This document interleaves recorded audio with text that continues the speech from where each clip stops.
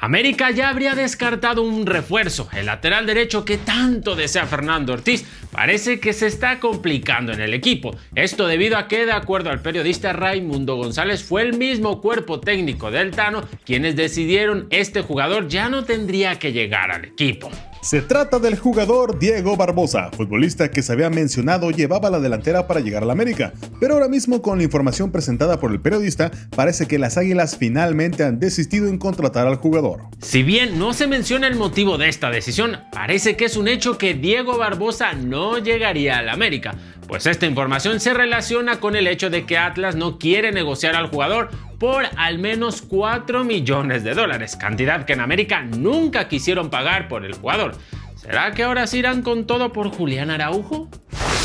Hola gambeteros, hoy les contamos que todo iba de maravilla con la posible salida de Uriel Antuna al fútbol de Grecia, pero la verdad es que otra vez los directivos de la Liga MX están pasando de lanza con el futuro de un jugador. Ahorita les contamos todos los detalles. Bruno Valdés se estalló en redes sociales por un comentario que hicieron referente a su salida. Además, Memo Ochoa dio un partidazo en su debut en la Serie A con el Salernitana, pero hubo un detallito dejó brillar tanto como muchos quisieran. En un ratito más les contamos todos los detalles, pero con esta información y más, vamos con el Mexicanotas de este día. Desde TUDN ya dieron como hecho la salida de Bruno Valdés del equipo. Algo que por supuesto no nos extraña, ya que es una decisión que se sabía de antemano iban a tomar en el América. Pero ahora que se armó mucho revuelo en redes sociales, al prácticamente confirmarse su salida, pues el mismo futbolista estalló por un comentario que se hizo al respecto. Y es que el tuit del narrador y analista Andrés Vaca no le cayó nada bien al paraguayo, pues en este mencionaba que América se tardó mucho en tomar esta decisión, ya que Bruno Valdés no le sumaba al equipo, lo que consideró una buena decisión de parte de la directiva, pero dicho tuit llegó hasta Bruno Valdés que le respondió diciendo que ojalá no se tardaran mucho en darse cuenta lo que él hace en su trabajo, dejando claro que no le gusta para nada como narrador y analista al paraguayo. Como era de imaginarse, estos comentarios causaron miles de reacciones en los aficionados del América. Incluso el mismo Andrés Vaca mencionó que si Valdés es considerado un histórico dentro del equipo, ya hace algunos torneos que de plano estaba de más en el equipo, algo en lo que muchos estuvieron de acuerdo. Lo que es un hecho es que Valdés se va del América. En su momento fue importante para el equipo. Hoy podría despedirse del América y la verdad es normal que no le guste las formas en cómo los aficionados y periodistas dan su opinión en torno a su salida del equipo azul crema. Este día se dio el debut de Memochoa con la Salernitana en la Serie A de Italia. Y, como era de esperarse, lo hizo como titular. Y fue el futbolista más importante de su equipo en el partido en contra del Milan, a pesar de la derrota de 2 a 1, pues Paco Memo evitó que fuera una auténtica goleada. Pero a pesar de que el mexicano dio un partidazo donde tuvo nueve atajadas, es un hecho que el arquero se equivocó feo en el primer gol en contra, pues salió de manera precipitada y el delantero Rafael Leao le ganó la posición y así cayó el primer gol del Milan. A partir de ahí, la verdad es que Ochoa dio un partidazo en un partido que bien pudo haber terminado con un resultado de cinco goles o más.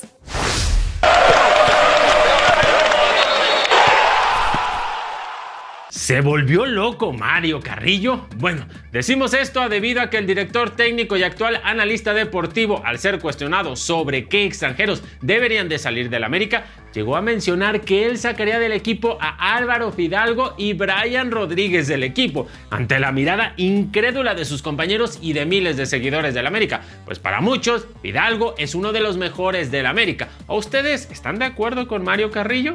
Con Cruz Azul todo indica que el ecuatoriano Michael Estrada se quedará en Cruz Azul.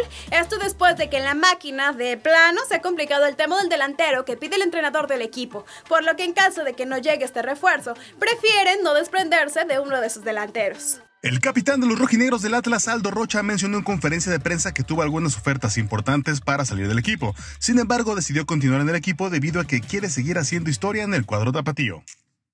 En realidad, eh, de que hubo ofertas, por mí hubo ofertas, pero también siempre llegué eh, a un buen arreglo tanto con la directiva como, como los, el cuerpo técnico que estaba y sobre todo porque yo quería seguir acá, ¿no? estaba muy motivado con el seguir haciendo, o quiero seguir haciendo historia en este equipo, me motiva a seguir trascendiendo. Como ya todos sabemos, Oscar Jiménez fue renovado un año con el América, pero de acuerdo a medio tiempo, el arquero estará condicionado durante todo el mes de enero, pues en caso de no dar buenos resultados, podría perder la titularidad en manos de Luis Malagón, por lo que Jiménez tiene que sí o sí convencer al cuerpo técnico durante todo este mes para conservar la titularidad.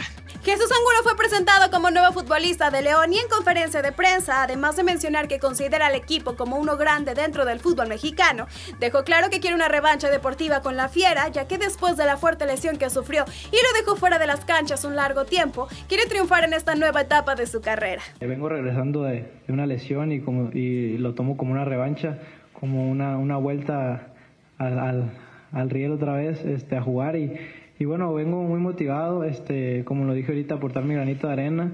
Y hablando de presentaciones de refuerzos, Chivas también ya presentó a sus dos refuerzos para el próximo torneo, con los cuales cierran su plantilla. Pero a destacar fueron las declaraciones del Pocho Guzmán, quien mencionó buscar ayudar mucho a Chivas y dará su mejor versión, pues sabe que jugando bien con el rebaño lo puede catapultar a sumarse a la selección rumbo al Mundial 2026. Así es de que ayudará para, para lo que se venga, para estos proyectos importantes y que pues no estaré tan viejo para el próximo mundial. Necaxa confirmó que el portero Rafael Ramírez llegará al equipo para sumarse como refuerzo para clausura 2023. El arquero de 30 años no ha podido debutar en primera división durante su carrera, pasando por equipos como Mineros, Venados, Tecos y Pachuca, donde solo jugó con la sub-20 del equipo. Justo ayer les decíamos que las negociaciones entre Cruz Azul y el Panathinaikos de Grecia iban bien, pero este día la directiva del Cruz Azul de plano se volvió loca, y al ver que el equipo griego de verdad quiere a Uriel Antuna, de la noche a la mañana decidieron cambiar los términos y montos de la negociación. Cruz Azul quería que Panathinaikos diera más dinero en el préstamo. El equipo ofrecía 600 mil dólares y después una compra obligatoria de 4.5 millones de dólares. Pero ahora la directiva de Cruz Azul lanzó una respuesta de locos, pero no en el buen sentido. Y es que Cruz Azul pide un millón de dólares por el préstamo y una compra obligatoria de 8.5 millones. Una cifra que de plano es ilógica. Y es que no es por menospreciar a Aurel Antuna, pero vamos a poner de ejemplo el caso de César Montes. El eurofutbolista del español de Barcelona salió de rayados por cerca de 8 millones de dólares. Montes fue un jugador que fue titular en el Mundial de Qatar y en Cruz Azul quieren vender Antuna en más de 9 millones de dólares. Las cuentas, la verdad es que no cuadran. Hoy Antuna está haciendo todo lo posible para presionar su salida del Cruz Azul, el jugador quiere salir de la máquina y está entrenando por aparte del resto de sus compañeros, pues sin duda, así como nosotros lo vemos, él también cree la cantidad que pide la directiva de la máquina es exagerada.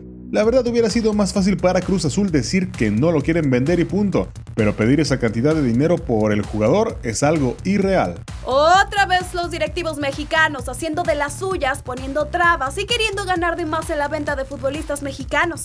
Lo bueno es que prometieron supuestamente después del fracaso del Mundial iban a dar facilidades para que los jugadores salieran a Europa.